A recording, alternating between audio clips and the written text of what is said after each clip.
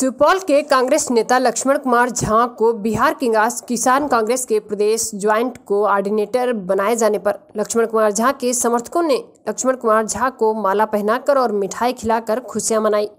वहीं लक्ष्मण कुमार झा ने बताया कि मुझे किसान कांग्रेस के राष्ट्रीय प्रभारी राजकुमार शर्मा के द्वारा प्रदेश महासचिव बनाया गया, जिसके लिए मैं और मेरे समर्थकों को इस तरह से कोटि कोटि धन्यवाद करता हूँ। साथ ही हम हमेशा युवाओं को रोज़गार की समस्या हो किसान की समस्याओं से सभी जनता की समस्याओं को लेकर हम हमेशा आंदोलन करते हैं और करते रहेंगे। फिर भी से एक बार राष्ट्रीय प्रभारी राजकुमार शर्मा को कोटि कोटि धन्यवाद। मनाया जा रहा है विजय। आज जो है सो राष्ट्रीय कमेटी के दिशा अनुसार मुझे प्रदेश किसान कांग्रेस के द्वारा बिहार प्रदेश का जो है मुझे महामंत्री बनाया गया है, महासचिव बनाया गया है।